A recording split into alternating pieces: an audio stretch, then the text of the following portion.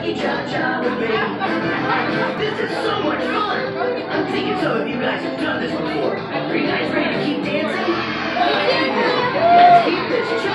You know the dance. Just slap your knees and clap your hands. Just let the music move you. Slice left over right and right over left. Feel the rhythm flowing through you. Now going back to the left and back to the right. Just like you did before. Wave your hands in the air and turn to the left.